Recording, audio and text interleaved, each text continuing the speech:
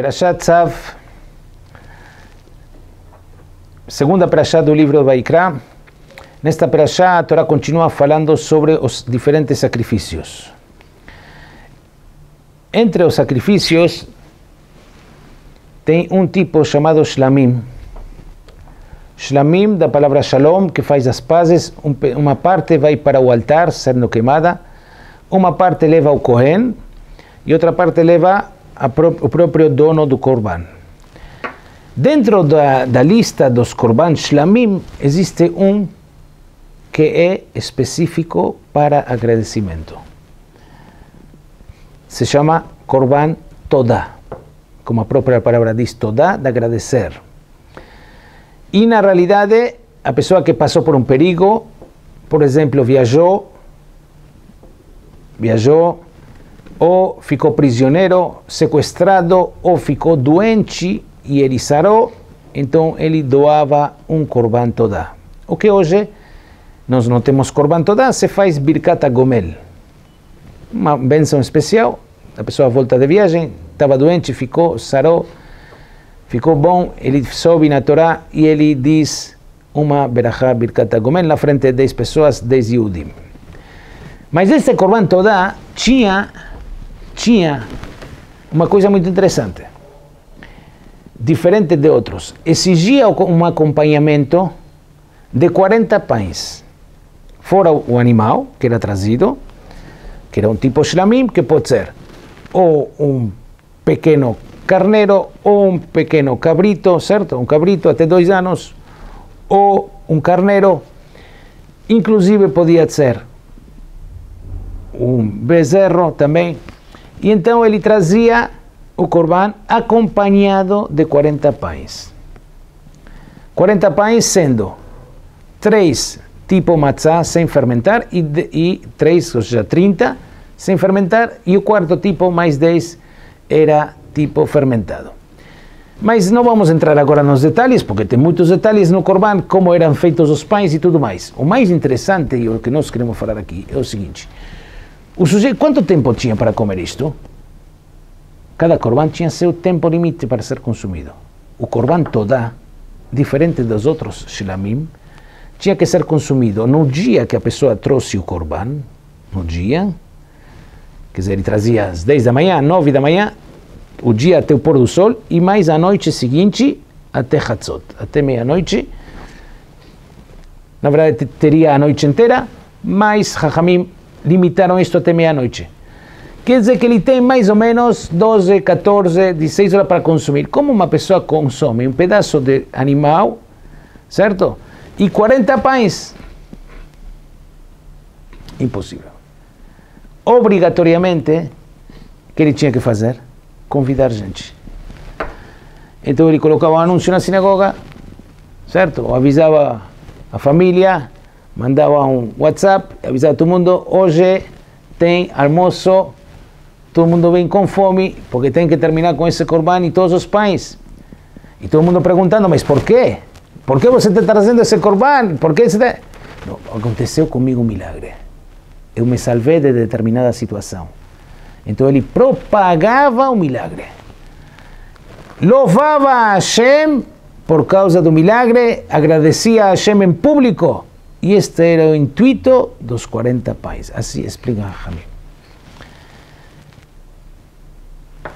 Corban toda. Vamos passar para nosso dia a dia. A pessoa tem que saber agradecer a Hashem por tudo aquilo que ele tem. Você está vivo. Você está sadio. Você tem filhos. Você tem uma família. Você tem um trabalho. Agradeça. Saiba agradecer constantemente a Hashem, como Nachmanides diz no final da Prashat Bo, que esse é o intuito de todas as mitzvot, louvar e agradecer a Hashem. Mas, eu vou lhes dizer uma dica agora. E essa dica nós aprendemos de Moshe Rabbeinu e de David Amelech. Moshe Rabbeinu ele fez um sinal, deixou uma marca nele para lembrar o milagre que Hashem fez com ele. O pessoal normalmente é acostumado, mesmo que aconteça uma coisa boa. No primeiro dia a pessoa fica empolgado, agradecendo a Hashem. Na primeira semana, passou um tempinho, já esqueceu. Ele está só focado nos problemas, nos inconvenientes que ele tem. Não no agradecimento a Hashem. Pois os problemas também. Muitas vezes, não, sempre é para o bem. Hashem faz tudo para o bem. Às vezes a pessoa enxerga, às vezes a pessoa não enxerga. Às vezes a pessoa vê o resultado. Quantas histórias tem nas aquelas duas torres que caíram com o ataque terrorista nos Estados Unidos?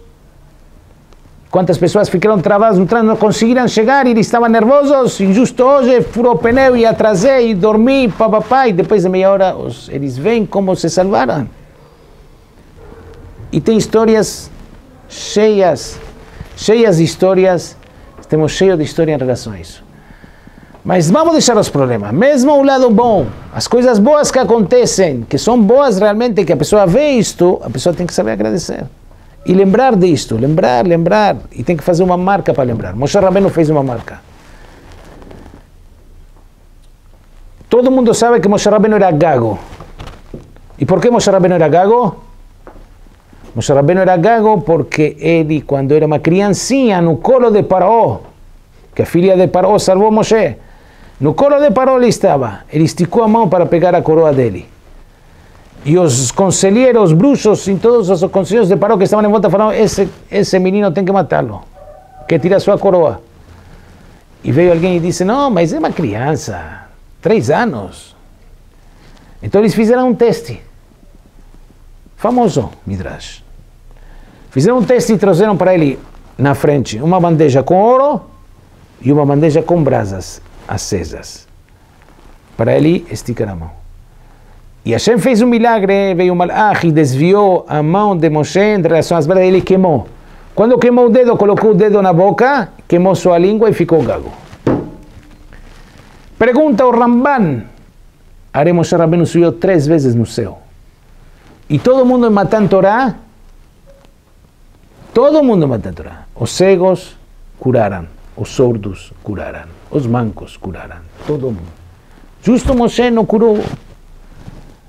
O problema que ele tinha, o fato de ele ser gago, diz o Ramban, Nachmanides, Moshe quis ficar com esse defeito para lembrar o milagre que Hashem fez com ele que salvou a vida dele.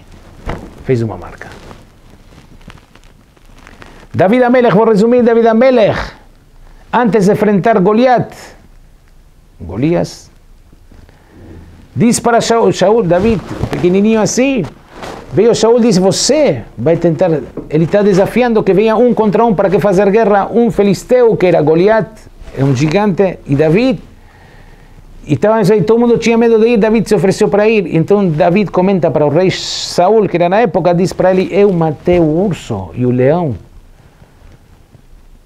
ele matou o urso e o leão, Gametade, e diz que David Amelech, diz o Midrash, fez de, do couro do urso, fez um cinto que ele vestia constantemente para lembrar o milagre que Hashem fez com ele. Então daqui nós vemos o seguinte, Hashem te fez uma coisa boa, agradeça. Não só agradeça, tente gravar isto em algum lugar, fazer uma marca para você lembrar diariamente que Hashem fez com você. Conheço uma pessoa que ele, as únicas fotos e vídeos que tem no seu celular são as fotos das festas que ele tem. Nasceu um menino, coloca um par de fotos, as outras ele todo apaga. Ele apenas deixa as coisas boas. Para quê? Para quando abra a galeria de fotos, ele só vê as coisas boas que Hashem fez com ele. Corban toda tinha que fazer um barulho para comer, para, para contar o milagre. Agradeça a Hashem.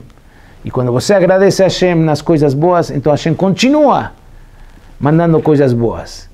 Se você dá uma bala para uma criança e ele não sabe falar obrigado, na segunda bala você não vai dar.